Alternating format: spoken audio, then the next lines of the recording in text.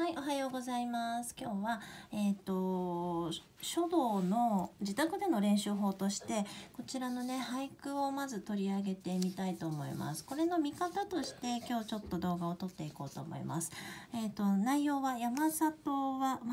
万歳遅し梅の花と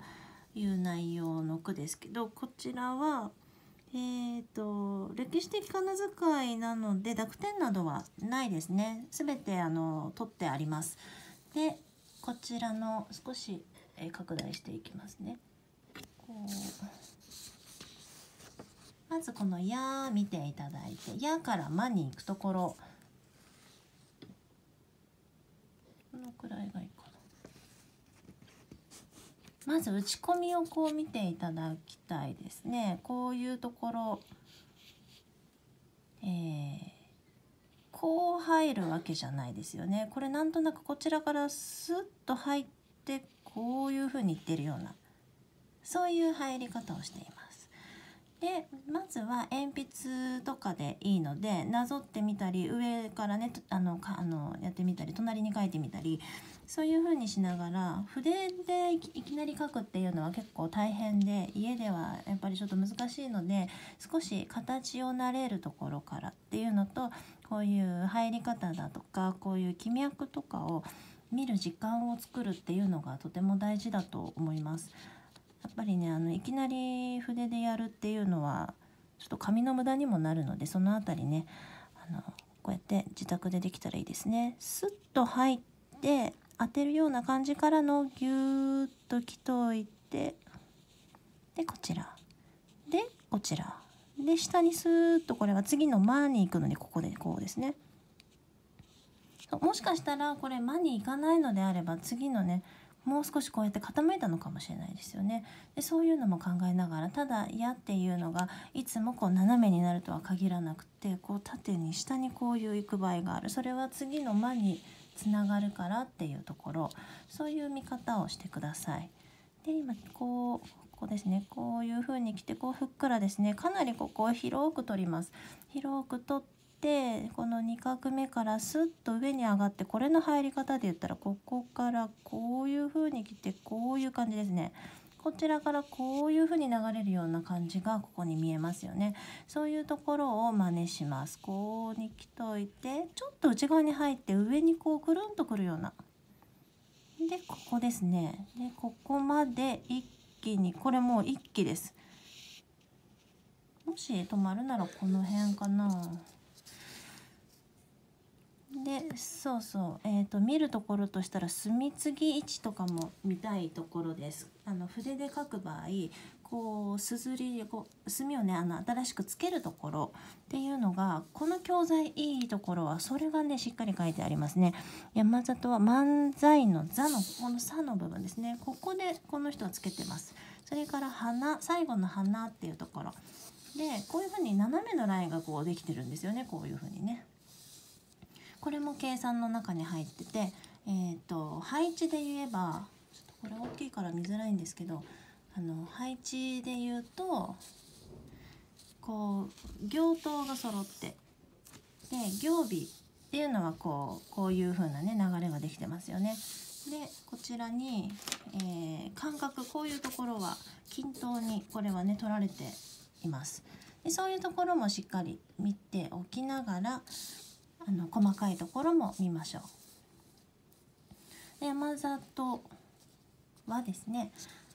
うん、この辺りに来るとちょっとね、あのー、墨がだんだん薄くなって濃淡がこう出てますよね。でそういうところは鉛筆で描く時もちょっとそういうのを意識しながらちょっと薄くなってるなっていう感じでその薄くなってるなっていう感じの中でもその中でも強いのってどこだろうっていうふうに考えた時にああこう来てここからのこれって結構強いんじゃないかなとかそういうのを感じ取ってください。はい、では次ですね。漫才。えー、っと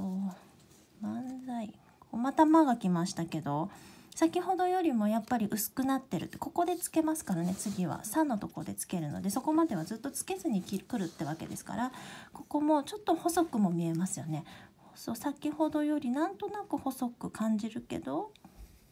ここにしっかり当ててるのが見えますね。そういうところをしっかりここからの当てをしこうギュッとくるようなで運にきます。こうこういう風に回ってグッてここ強いですよね。であのー、書いてて止まるところって言ったらこういうところです字が終わって「間」がシュッて終わったっていうところでこういうとこで止まっちゃいけなくてそのまま「運」の一画目あたりこの辺までね初めの「俺」の部分まで来てしまってそこから一度話してもいいんですけどそこからまた入るとなった時にはここの気持ちを取り戻してからこう入る。でこう来てこうですね。強いですね。こちら側にこういう風にいきます。で左えー、スーッと来てこここちらからこういう風に持ってくるような感じで抜けてまたギュッまた抜けてギュッギュッっていう感じです。さあえっ、ー、とね漫才っていうのはえーとこれなんだっけな。あの新年の木季語だったかな。でえっ、ー、と烏帽子をかぶった人でなんか芸人さんみたいな感じ？都の方からこうやってなんかあと降りてくる人らしいんですけどそれが山里の方田舎の方ってことですね。田舎の方にはあの梅の花がねあのたくさん咲く頃になってようやくやってきたよっていう内容らしいです。えー、遅しこれですね。これはここからこう来て穴はもう潰すぐらいな感じでギュッて大きくここ行きません。このままこう柔らかくこう少しカーブをするようにここちょっとカーブしてます。カーブをしてそれでこう上に少しだけ上がるだけでこういう感じがねできますからここで頑張らないでほしいとこです。ここどうしてもギュッてこうやって上がってちゃいがちなんですけど上がりません。それから、えーと、この点からのソに行くところこれですよね。点からソに行くところにも気脈がすごくよく現れてますよね。こういうところをしっかりね出しましょう。注目です。ここからスーッと降りてきてそのままスッと当ててギュッていきます。でまたちょっと抜けた感じがするけどまたギュッてきて。でこうですよねでそこから一回ちゃんと終わって「し」にこうやっていきます。うんこの入り方とか「そ」のこういう部分細くなってる部分とかをしっかり見て当て方これねこういうところのイメージをあの自分が筆を持ってるようなイメージで書くといいです。でそれから次行頭揃ってますね上ね。で梅の花と書く時の「う」のこれもちょっとよく見ていただきたいとこで点を1個打ったらそこからスーッと降りてこういう向きで一回入ってるんですよこれ。上からスーッと降りてきて当ててます当ててこういうふうにでちょっと上がるような感じで目にそのままいってで結果的には上から流れてるので1画目より2画目が下に見えますよね。でこういう風にここからしっかりここに入ってで中途半端なとこでだったら止まっていいです。でその代わりと続ける時にはそこの、あのー、気持ちから入るようなイメージとあと,、えーと筆をこう直したりあまりしない方がいいので途中で止まってもいいけどこうしたらそのままの状態でギューッと入ってそのまま「の」ですね強いままなんかこれは全然